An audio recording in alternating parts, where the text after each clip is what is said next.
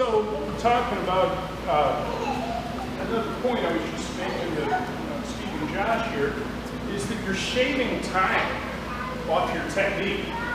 You know, you think about if you can shave an eighth of a second off of your technique or more, that's often the difference between throwing and not. Right? Getting a score, getting countered, getting blocked.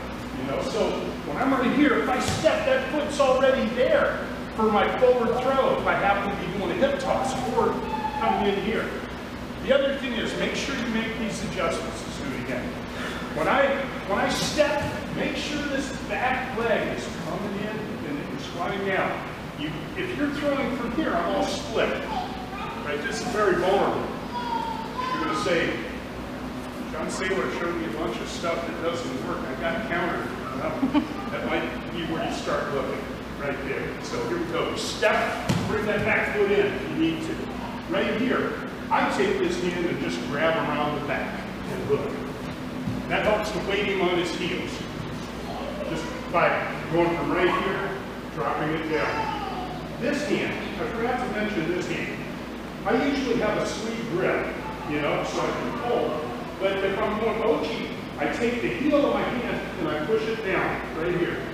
Just a small thing. If you feel how the weight's going down a little bit, when I just turn my hand this way and down. And that's a gripping thing.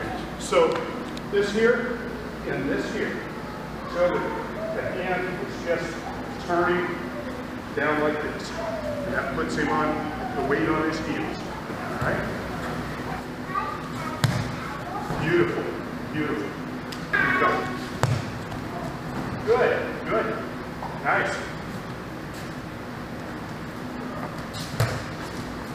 Good, good. All right. Is that good?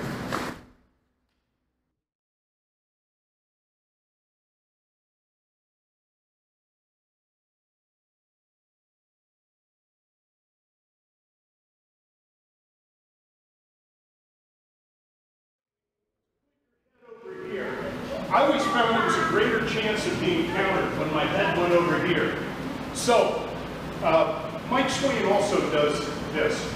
I believe he's still doing it this way. Then he stepped, his head went to this side. See where I'm at?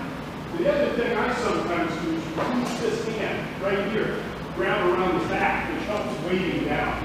I just do it from here to there, and then I'm in. And it weights me down pretty good. All right? But anyway, I'm putting my uh, head on the opposite side of my reaping leg. Okay, so if I'm reaping right, my head's going on the opposite side of it here. I'm not doing this, which I'm seeing some of that, all right? So let's iron that out. I'm gonna step out over here, I bring it in, I'm nice and low, I drop this hand. Which you see how that weights him on his heels. For Uchigari, where do you want it? Right on his heels. Following up cover. All right? Here we go. Then I put a square stance. So all I'm doing here is I'm stepping outside, there it is, and I'm lowering my level, and I'm making a, a sweeping motion right here.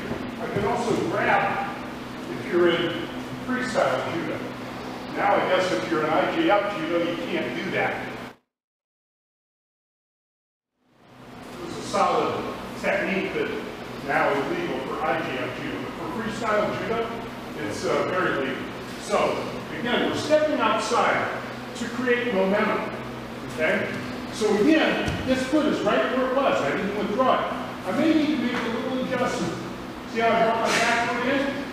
Let's get where everybody can see it. Okay? Here. If I attack right now, I'm too spread out, so I just bring my back foot in. Okay? There it is.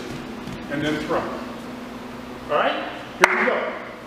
We'll start to build the series.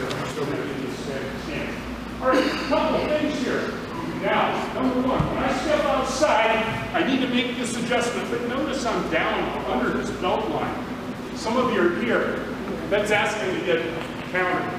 He's going to wrap around my back. He's going to sweep me with some sambo stuff or whatever, right? So I don't want that. So I'm right here. When I bring the back leg in, but notice my level is low. And then see how my belt's lower than his? Then I can do the sweep. You want to be standing up. Do a few more. If you haven't been, I want you alternating. Have you been alternating? Okay. Keep doing that. Do a few more. And then we're going to add to this series.